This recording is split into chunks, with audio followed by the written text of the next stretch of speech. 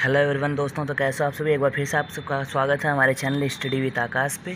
तो दोस्तों, जैसा कि हम लोगों ने पिछली वीडियो में एक नोट पॉइंट देखा था फ़र्स्ट वाला नोट पॉइंट हाँ तो उसका हम लोग एग्जांपल देखने वाले हैं, ठीक है? जैसा कि हम लोगों ने रिएक्शंस देखा था कि अगर रिएक्टेंट ये है, ये दोनों रिएक्टेंट हैं एसिड एंड बेस तो इसमें से क्या निकलता है? मतलब कौन से ऐसी चीज़ें हैं जो हर रिएक्शन में निकलती हैं, ठीक है?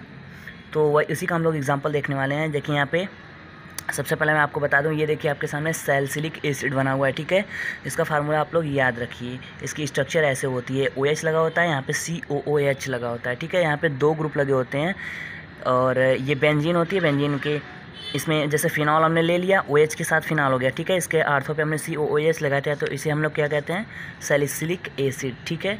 तो सैलिसिलिक एसिड क्यों मैं बता रहा हूँ? क्योंकि इसका थोड़ा सा यूज़ है, कहीं ना कहीं आपको देखने को मिल जाएगा अभी, ठीक है? तो क्वेश्चन है आपके सामने कि यहाँ पे सी ओ ओ एच लगा हुआ है, ठीक है? और यहाँ पे सी एच लगा हुआ है मतलब इस इसके जस्ट सामने यहाँ पे ट्रिपल बॉन्ड से ये जुड़ा हुआ है सी एच ठीक है? और यहाँ पे ये एन ओ टू और यहाँ पे ओ एच ये बेंजीन रिंग है, यहाँ पे एन ओ टू दो फंक्शनल ग्रुप लगे हुए हैं एन ओ टू और ओ एच फिर इस वाले और इस वाले के बीच में सिंगल बॉन्ड है और यहाँ पे ये फिनॉल लगा हुआ है ओ एच ठीक है? अब देखिए जब ये देखें यहाँ पे ये क्रॉस बॉन्डिंग है ठीक है? अगर ये क्रॉस बॉन्डिंग नहीं रहती तो हम इसे आ, हल्का सा इसको ऐसे करके रिप्रेजेंट करते ठीक है? मतलब एक दूसरे को ये टच कर रहे हैं। ये दोनों बॉन्ड ठीक है?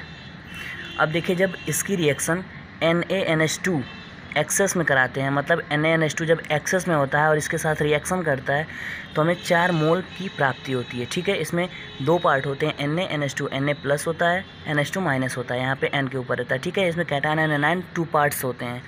अब देखिए सेकेंड इसी में हम लोगों ने तीन रिएक्शन सीखनी है, ठीक है? क्या क्या बनता है? क्या क्या प्रोडक्ट बनता है बाई प्रोडक्ट में? और N A H C O three second वाली N A H C O three जब एक्सेस में ले लेते हैं और इसकी रिएक्शन कराते हैं तो हमें क्या मिलता है? बाई प्रोडक्ट के रूप में थ्री एच टू ओ मिलता है, ठीक है? तीन मोल एच टू ओ के मिलते हैं।